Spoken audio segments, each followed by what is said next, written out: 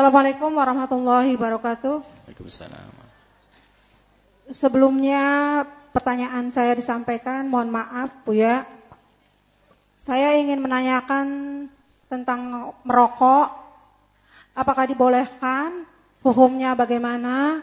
Sedangkan dalam bungkus rokok, Apa? merokok adalah membunuh. Apa? Merokok adalah menyebabkan beberapa penyakit. Maka dari itu, saya mohon kepada Buya agar menjelaskan dengan baik dan benar. Terima kasih. Wassalamualaikum warahmatullahi wabarakatuh. Ketahuilah bahwasanya Islam itu mengajari kebaikan. Semua hal yang membahayakan hukumnya adalah haram kalau dikonsumsi. Apa pun membahayakan. Haram. Segala sesuatu. Apakah itu makanan? Ada roti yang sudah terbukti kalau itu membawa menyebabkan penyakit. Kalau kita memaksa untuk makan adalah haram. Membahayakan menurut siapa? Ini yang harus kita ketahui. Tidak seenaknya. Kiai pun tidak laku di sini kalau urusan kesehatan. Kiai gak laku. Kiai bukan seorang medis. Bukan seorang dokter yang tahu ini bahaya atau ti tidak. Tanyakan kepada ahlinya. Sama urusan keamanan di sebuah tempat. Apakah itu namanya hutan, belantara atau apa? Kiai nggak ngerti kalau di hutan itu ada harimaunya dan sebagainya. Tapi orang penjaga hutannya sudah berkata, awas jangan masuk, ada harimau, ganas. Yang bicara adalah perhutani.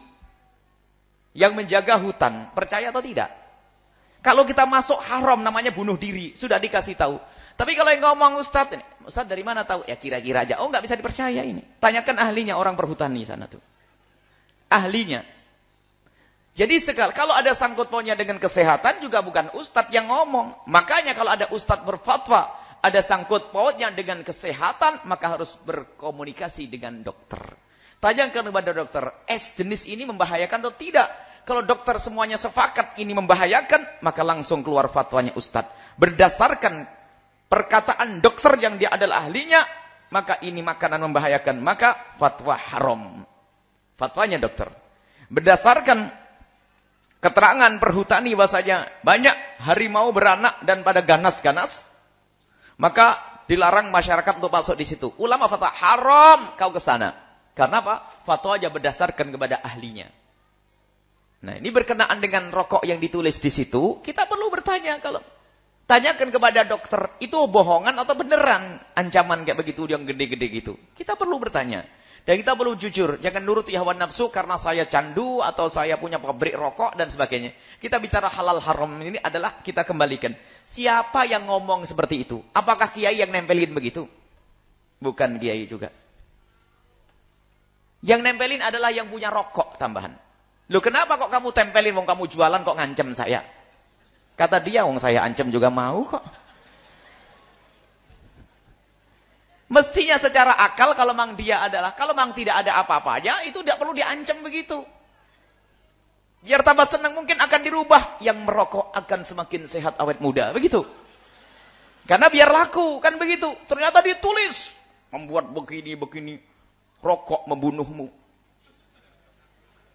Dan seterusnya. Dan mohon ya, kita perlu membangun keinsyafan. Wahai semua yang merokok. Kalau ternyata anda masih ada kecanduan, khawatir benar-benar ini sesuatu yang dilarang.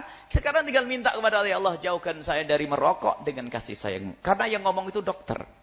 Biarpun dokter yang merokok sendiri ngomong, benar tak dokter kalau kalimat itu membahayakan? Iya. Kalau kalau rokok itu bahaya? Iya sebetulnya iya. Lah kok ngerokok? Senyum. Karena ada candunya. Ada apa? Ada kecanduannya. Itu yang menjadikan orang susah untuk meninggalkannya. Baik kita bicara tentang rokok. Kembalikan kepada ahlinya, para dokter. Dokter mengatakan membahayakan semuanya. Dan bahaya yang sesungguhnya. Rokok membunuhmu. Rokok membunuh. Membunuh maknanya membahayakan. Masa ada bualan, orang jualan kok bualan. Ada orang jual es, awas. Jangan beli es ini, berbahaya. Kau akan mati muda. Enggak. Enggak ada orang ngomong begitu jualan. Ya, ya, ya bodoh dia jualan kok ancaman begitu. Apakah itu yang punya pabrik rokok itu bodoh sampai nempelin begitu? Mereka sangat pintar dalam urusan berbisnisnya. Berarti itu bukan dari nol. Itu pasti dari kebenaran. kebenaran para dokter sehingga rokok kalau tidak ada ancamannya itu nggak boleh dijual. Nah. Jadi ya sudah artinya di dalam rokok sendiri ada racun. Mohon diinsyafi yang demikian ini. Tidak, bukan saya loh yang ngomong. Yang ngomong tulisan yang ada di buku, di, di rokok tersebut. Jadi saya tidak bukan dokter. Saya nggak ngerti ilmu kedokteran. Saya juga tidak pernah nasi lauknya pakai rokok. Tidak pernah, Alhamdulillah sampai hari ini. Nah, jadi mohon maaf ini harus di, dicermati dengan kesadaran bahasanya ini omongan bukan suatu yang salah. Karena yang ngomong pak ahlinya yaitu kedok dokteran. Baru setelah itu karena dokter ngomong begitu, kita ya berusahalah. Kalau Anda termasuk perokok yang ada di tempat ini, cukup begini saja.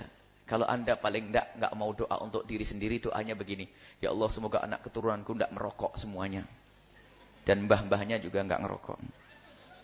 Tidak merokok doanya untuk yang lain saja deh. Coba jujur hati kecil para bapak ibu semuanya. Ibu yang ngerokok, bapak yang merokok. Pengen tidak anaknya jadi perokok berat? Tidak. Sebelum itu kejujuran yang tidak bisa dipungkiri oleh siapa pun. Jadi mohon maaf para perokok yang mendengar suara ini di mana pun anda berada. Hari ini kita akan baca fatihah khusus. Fatihah khusus demi cinta kami kepada para perokok. Fatihahnya yang pertama, Fatihah khusus diniatkan yang pertama, semoga dengan obrolan kami saat ini tidak marah. Satu. Satu, biar tidak marah dulu. Kemudian semoga Allah menggantikan kesenangannya adalah yang halal dan sehat. Yang bersih, bukan rokok. Dan semoga Allah menjadikan dia semakin eh tidak senang sama rokok. Dan semoga dimudahkan makan segala macam nggak jadi penyakit ya. Makan buah enak, makan nasi enak, makan daging enak, semuanya enak. Pokoknya yang halal-halal enak. Tapi menjadi benci tidak senang rokok. Amin.